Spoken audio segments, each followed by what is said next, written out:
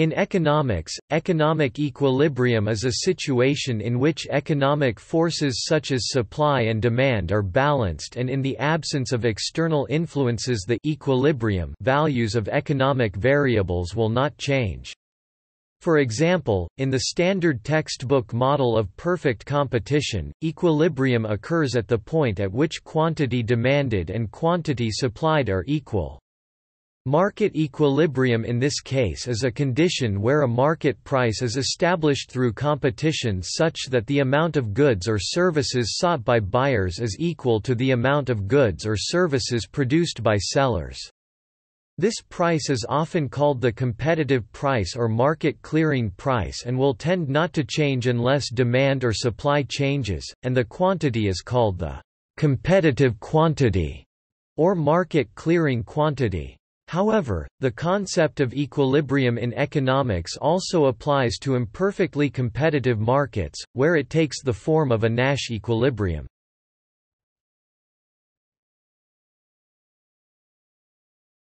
Topic: Properties of equilibrium Three basic properties of equilibrium in general have been proposed by Huw Dixon. These are Equilibrium property P1, the behavior of agents is consistent. Equilibrium property P2, no agent has an incentive to change its behavior. Equilibrium property P3, equilibrium is the outcome of some dynamic process stability.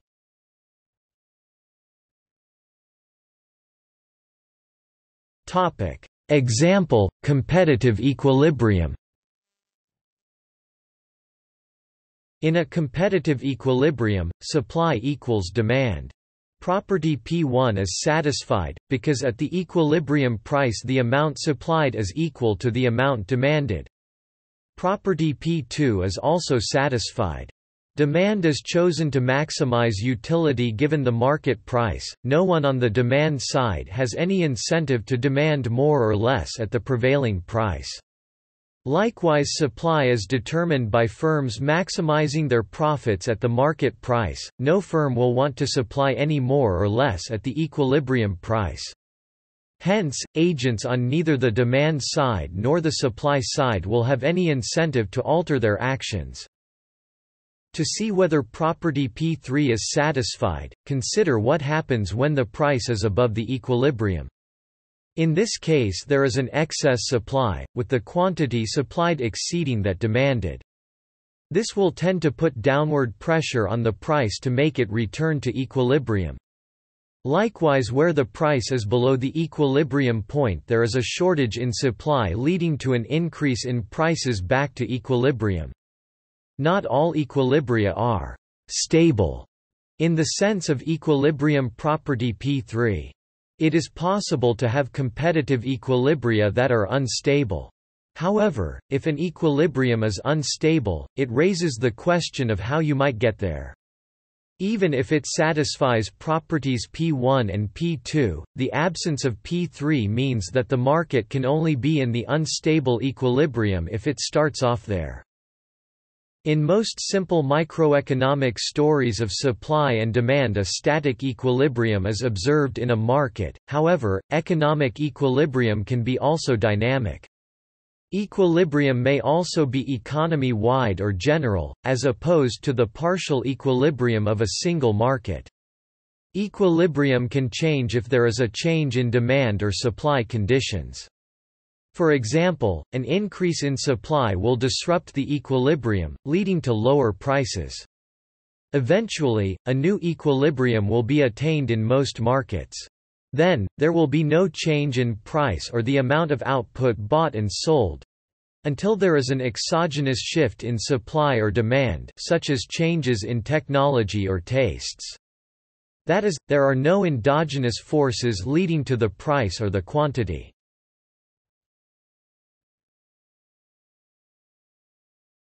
Topic. Example, Nash equilibrium The Nash equilibrium is widely used in economics as the main alternative to competitive equilibrium. It is used whenever there is a strategic element to the behavior of agents and the price-taking assumption of competitive equilibrium is inappropriate. The first use of the Nash equilibrium was in the Cournot duopoly as developed by Antoine Augustin Cournot in his 1838 book. Both firms produce a homogeneous product, given the total amount supplied by the two firms. The single industry price is determined using the demand curve.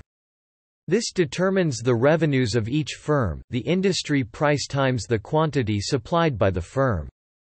The profit of each firm is then this revenue minus the cost of producing the output. Clearly, there is a strategic interdependence between the two firms. If one firm varies its output, this will in turn affect the market price and so the revenue and profits of the other firm. We can define the payoff function which gives the profit of each firm as a function of the two outputs chosen by the firms. Cournot assumed that each firm chooses its own output to maximize its profits given the output of the other firm. The Nash equilibrium occurs when both firms are producing the outputs which maximize their own profit given the output of the other firm. In terms of the equilibrium properties, we can see that P2 is satisfied. In a Nash equilibrium, neither firm has an incentive to deviate from the Nash equilibrium given the output of the other firm. P1 is satisfied since the payoff function ensures that the market price is consistent with the outputs supplied and that each firm's profits equal revenue minus cost at this output. Is the equilibrium stable as required by P3? Cournot himself argued that it was stable using the stability concept implied by best response dynamics.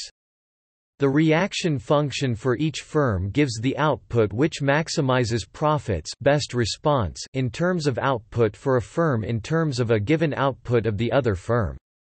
In the standard Cournot model this is downward sloping, if the other firm produces a higher output, your best response involves producing less. Best response dynamics involves firms starting from some arbitrary position and then adjusting output to their best response to the previous output of the other firm. So long as the reaction functions have a slope of less than minus 1, this will converge to the Nash equilibrium. However, this stability story is open to much criticism. As Dixon argues, the crucial weakness is that, at each step, the firms behave myopically, they choose their output to maximize their current profits given the output of the other firm, but ignore the fact that the process specifies that the other firm will adjust its output.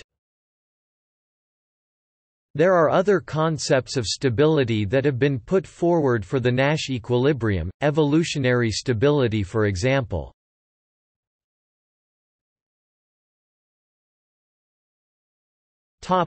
Normative evaluation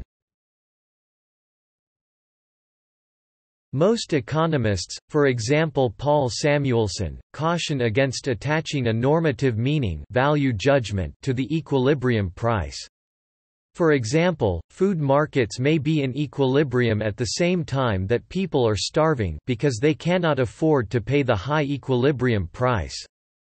Indeed, this occurred during the Great Famine in Ireland in 1845–52, where food was exported though people were starving, due to the greater profits in selling to the English. The equilibrium price of the Irish-British market for potatoes was above the price that Irish farmers could afford, and thus among other reasons, they starved.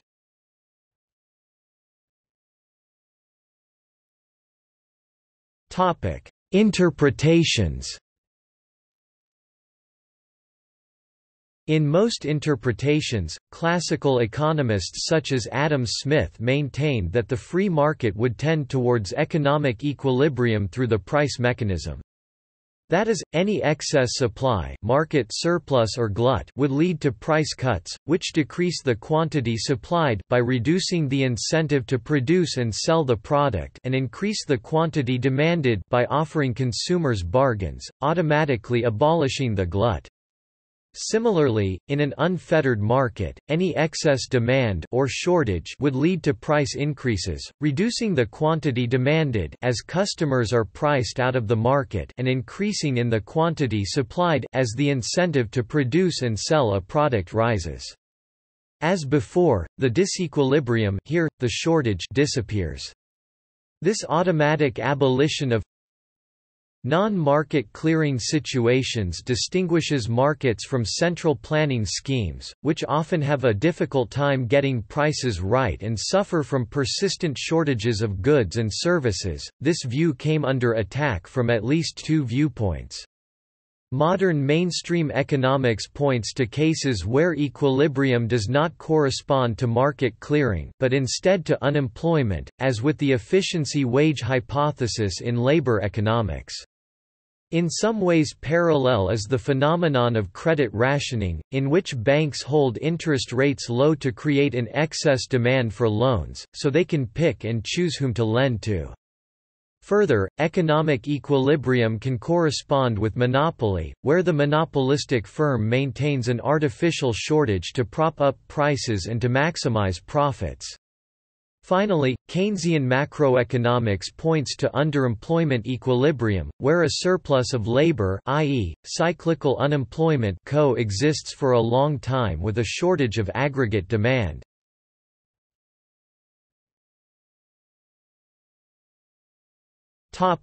Solving for the competitive equilibrium price To find the equilibrium price, one must either plot the supply and demand curves, or solve for the expressions for supply and demand being equal. An example may be Q S equals 125 plus 1.5 P Q D equals 189 minus 2.25 p q s equals q d 125 plus 1.5 p equals 189 minus 2.25 p 1.5 plus 2 25 p equals 189 minus 125 p equals 189 minus 125 1.5 plus 2.25 p equals 64 3.75 p equals 17.067 display style begin aligned at 2 q underscore s and equals 125 plus 1.5 c dot q underscore d and equals 189 to 2.25 c dotp q underscore s and equals q underscore d 125 plus 1.5 c dotp and equals 189 to 2.25 c dotp 1.5 plus 2.25 c dotp and equals 189 to 125 p and equals frac AC 189 to 125 1.5 plus 2.25 p and equals frac 64 3.75 p and equals 17.067 end aligned at in the diagram depicting simple set of supply and demand curves the quantity demanded and supplied at price p are equal at any price above P supply exceeds demand, while at a price below P the quantity demanded exceeds that supplied. In other words, prices where demand and supply are out of balance are termed points of disequilibrium, creating shortages and oversupply. Changes in the conditions of demand or supply will shift the demand or supply curves. This will cause changes in the equilibrium price and quantity in the market. Consider the following demand and supply schedule. The equilibrium price in the market is $5 where demand and supply are equal at 12,000 units. If the current market price was $3, there would be excess demand for 8,000 units, creating a shortage. If the current market price was $8 there would be excess supply of 12,000 units. When there is a shortage in the market we see that, to correct this disequilibrium, the price of the good will be increased back to a price of $5, thus lessening the quantity demanded and increasing the quantity supplied thus that the market is in balance. When there is an oversupply of a good, such as when price is above $6, then we see that producers will decrease the price to increase the quantity demanded for the good, thus eliminating the excess and taking the market back to equilibrium.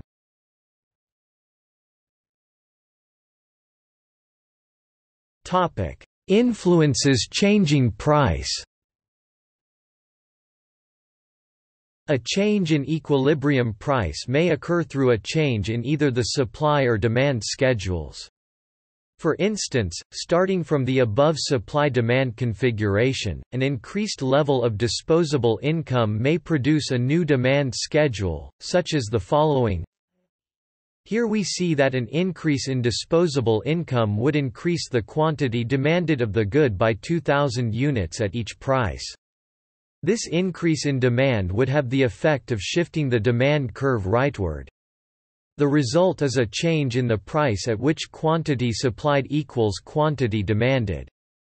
In this case we see that the two now equal each other at an increased price of $6. Note that a decrease in disposable income would have the exact opposite effect on the market equilibrium.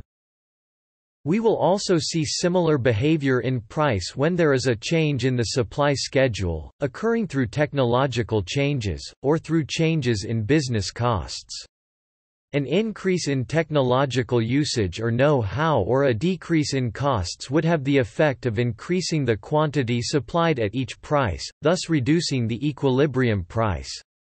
On the other hand, a decrease in technology or increase in business costs will decrease the quantity supplied at each price, thus increasing equilibrium price. The process of comparing two static equilibria to each other, as in the above example, is known as comparative statics. For example, since a rise in consumers' income leads to a higher price and a decline in consumers' income leads to a fall in the price, in each case the two things change in the same direction, we say that the comparative static effect of consumer income on the price is positive. This is another way of saying that the total derivative of price with respect to consumer income is greater than zero.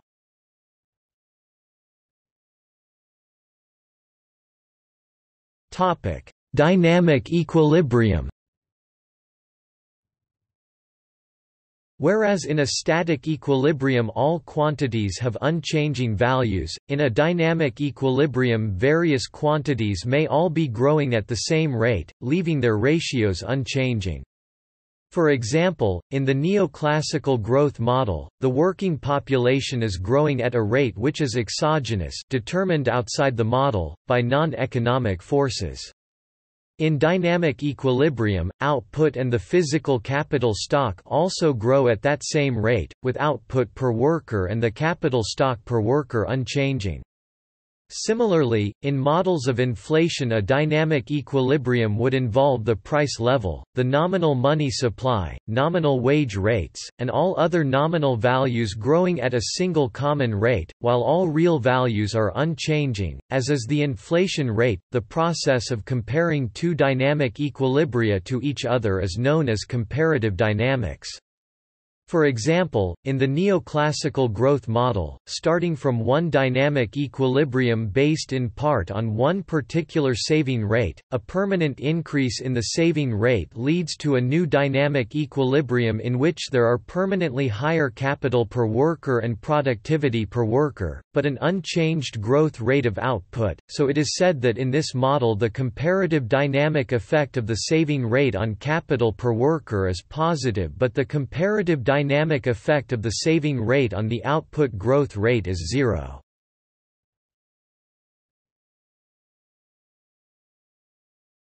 Topic: Disequilibrium. Disequilibrium characterizes a market that is not in equilibrium. Disequilibrium can occur extremely briefly or over an extended period of time. Typically in financial markets it either never occurs or only momentarily occurs, because trading takes place continuously and the prices of financial assets can adjust instantaneously with each trade to equilibrate supply and demand. At the other extreme, many economists view labor markets as being in a state of disequilibrium—specifically one of excess supply—over extended periods of time. Goods markets are somewhere in between, prices of some goods, while sluggish in adjusting due to menu costs, long-term contracts, and other impediments, do not stay at disequilibrium levels indefinitely, and many goods markets such as commodity markets are highly organized and liquid and have essentially instantaneous adjustment of their prices to equilibrium levels.